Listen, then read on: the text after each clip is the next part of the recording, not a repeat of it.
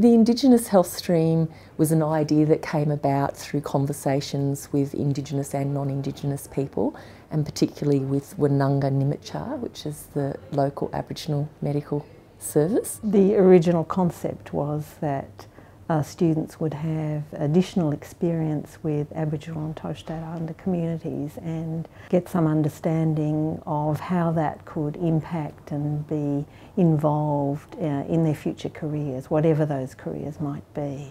They come in with a lot of um, interest, a lot of altruism. They know about about um, the health of Aboriginal and Torres Strait Islander peoples, and often they feel quite quite powerless, but want to make a difference somehow in their future careers. It's given me um, a lot of opportunities to go and um, interact with um, Indigenous communities around uh, New South Wales and ACT, which I don't think I would have had um, otherwise. Personally, I've yeah, gained a greater awareness of the cultural diversity in Australia um, between Aboriginal populations from the local Canberra community to the community down the south coast at Narooma.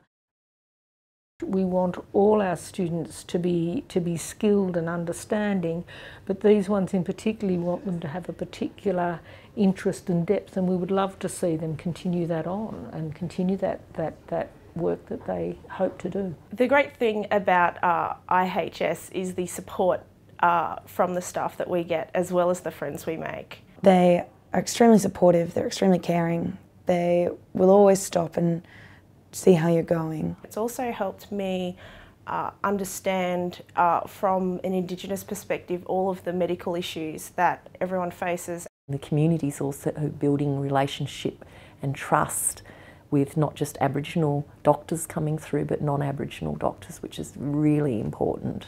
We really want these, these students as young doctors to be very proactive and very understanding when they have Aboriginal and Torres Strait Islander peoples and hopefully, you know, to choose to work in those areas. Health is not just about presenting at emergency or being in hospital, but from an Aboriginal perspective that it's holistic and involves culture and well-being and social and emotional well-being.